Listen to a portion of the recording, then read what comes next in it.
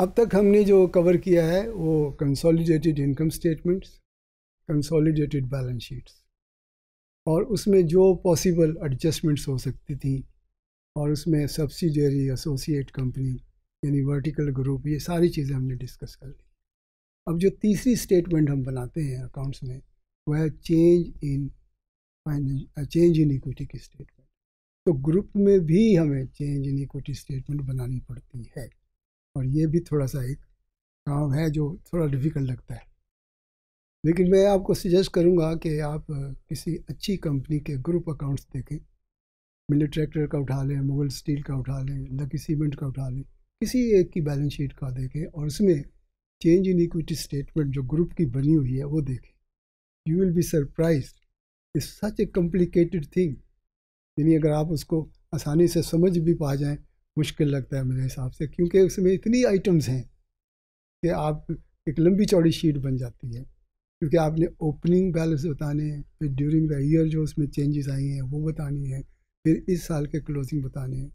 यानी कंपेरेटिव बनानी होती हैं तो पिछले साल की भी दिखानी है इस साल की भी दिखानी। लेकिन मैंने आपको सिर्फ़ कॉन्सेप्ट देना है यहाँ, कि कैसे चेंज इन इक्विटी स्टेटमेंट बनाई जाती है ग्रुप केस के लिए। तो सिर्फ़ कॉन्सेप्ट पॉइंट ऑफ़ व्यू से और मैं नहीं समझता कि एग्ज़ाम में इतना बड़ा सवाल आपसे पूछा जा सकेगा, लेकिन कॉन्सेप्ट समझ में आ जाए तो that's enough summarise statement of change in equity for the year 31st December 2019 for a limited and it's only subsidiary B limited जैसे मैंने कहा ना कि सिंपल रखा, एक होल्डिंग एक सब्सिडियरी लेकिन जहाँ ग्रुप में तीन चार हैं तो सबको मिलाकर देखना पड़ेगा। आर शोन बिलो, ये ओपनिंग दी हुई है। ओपनिंग में देखें, बैलेंस है फ़र्स्ट जनवरी का, दोनों में, और प्रॉफिट फॉर द ईयर है और डिविडेंड्स है, और बैलेंस है। डिविडेंड देखें ब्रैकेट्स में है, इसका मतलब ये पे हो गया है। और अगर आपको याद हो, जब हमने फाइनल अकाउंट्स का क्वेश्चंस किए थे तो जो डिविडेंड हम पे कर देते हैं, वो इक्विटी में से माइनस हो जाता है।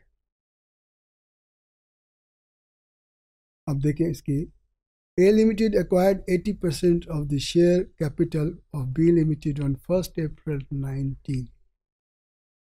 ये जो बैलेंस शीट आपने देखी और इक्विटी स्टेटमेंट देखी वो है थर्टी फ़र्स्ट दिसंबर की और आपने इसको एक्वायर किया कब है फ़र्स्ट अप्रैल यानी नाइन मंथ्स पहले when B's total equity was 10.107.7 million total equity इस इक्विटी में शामिल है कैपिटल भी और रिजर्व्स भी प्रीमियम भी प्रॉफिट्स भी सब the first dividend B limited has paid since acquisition is the amount of six million shown above तो दिखाया हुआ पिछले बैलेंस अकाउंट्स में देखें ये छः मिलियन जो पे किया है उसने the only dividend paid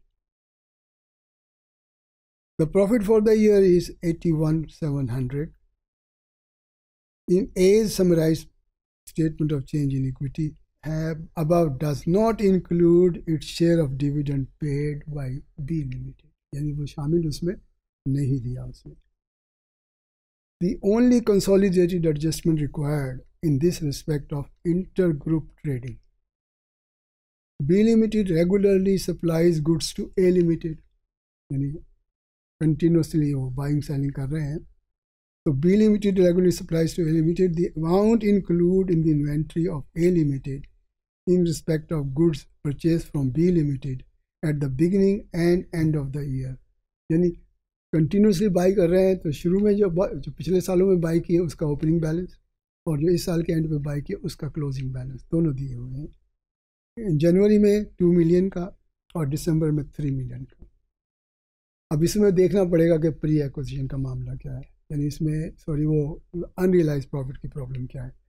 B Limited earn a profit on intergroup sales of 25 percent of cost अब देखिए जो जिसकी बुक्स में वो अपना इन्वेंट्री पड़ी हुई है, वो ऑब्वियसली सेल प्राइस पर है। तो उसमें से आपने निकालना है आपका जो अनरियलाइज प्रॉफिट है। और देखिए सिंपल सी बात है, अगर वो दो मिलियन है और ट्वेंटी फाइव परसेंट का मतलब वन फिफ्थ तो वन फिफ्थ अगर दो मिलियन का ले तो वो फोर हंड्रेड थाउज़ेंड बनता है। ये अनरियलाइज प्रॉफिट इसमें है। ठीक हो गया? और क्लोजिंग में जाते हैं तो वो थ्री मिलियन है। तो उसका वन फिफ्थ बनता है सिक्स हंड्रेड थाउज़ेंड तो हमने ये फोर हंड्रेड थाउज़ेंड और सिक्स हंड्रेड थाउज़ेंड की एडजस्टमेंट भी करना है। तो देखें कि किस तरीके से एक छोटी सी हम statement of change in equity बना के देखते हैं और इसमें जो वर्किंग है, क्योंकि इसमें देखें आपने एन का जो पार्ट है, वो कैसे निकालना है? क्योंकि बाकी तो आसान है। लेकिन एनआईसी का पार्ट जो है, उसमें क्या, कैसे निकालेंगे कि एनआईसी का पोर्शन उसमें कितना बनता है? Thank you very much